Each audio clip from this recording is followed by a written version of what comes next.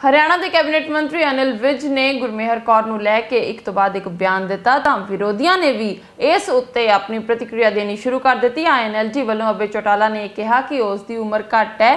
ਜੇਕਰ ਉਸਨੇ ਅਜਿਹਾ ਬਿਆਨ ਦੇ ਵੀ ਦਿੱਤਾ ਤਾਂ ਉਸ ਨੂੰ ਸਮਝਾਉਣਾ ਚਾਹੀਦਾ ਹੈ ਨਾ ਕਿ ਉਸ ਦੇ ਖਿਲਾਫ ਬੋਲਣਾ ਚਾਹੀਦਾ ਹੈ ਤੁਹਾਨੂੰ ਦੱਸ ਦਈਏ ਕਿ ਅਬੇ ਚੋਟਾਲਾ ਨੇ ਇਹ ਵੀ ਕਿਹਾ ਕਿ ਸਰਕਾਰ ਬੇਟੀ ਪੜ੍ਹਾਓ ਬੇਟੀ ਬਚਾਓ ਦੀ ਮੁਹਿੰਮ ਦੇ ਨਾਲ ਨਾਲ ਬੇਟੀ ਸਮਝਾਓ ਅਭਿਆਨ ਵੀ ਸ਼ੁਰੂ ਕਰੇ ਅਤੇ ਜੇਕਰ ਵਿਜ ਨੂੰ ਉਸ ਦਾ ਵਿਰੋਧ ਵੀ ਕਰਨਾ ਹੈ ਤਾਂ ਉਸ ਨੂੰ ਸਮਝਾਉਣ ਦੇ ਤੌਰ ਤੇ ਕਰਨਾ ਚਾਹੀਦਾ ਸੀ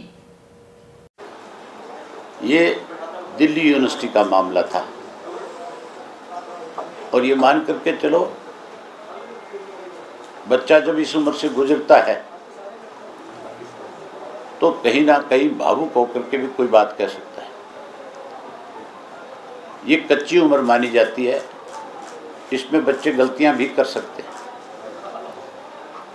गुरमेहरनी और बच्चे भी कहीं ना कहीं छोटी मोटी गलती कर सकते हैं। लेकिन सरकार का जो अभियान है, बेटी बचाओ और बेटी पढ़ाओ तो मेरे ख्याल इस सरकार को एक शब्द और जोड़ देना चाहिए कि बेटी समझाओ। अगर कोई बच्ची अपनी तरफ़ से कोई छोटी मोटी गलती करती है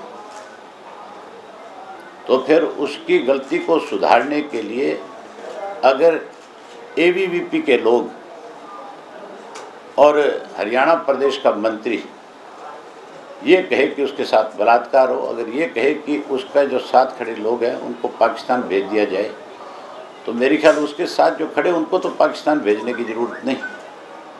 लेकिन मंत्री जी को आगरा भेजने की ज़रूरत ज़रूर है। उनको आगरा जा कर के आना चाहिए और अपना स्वास्थ्य ठीक करने के लिए कुछ दिन रहना चाहिए, आराम फरमाना चाहिए।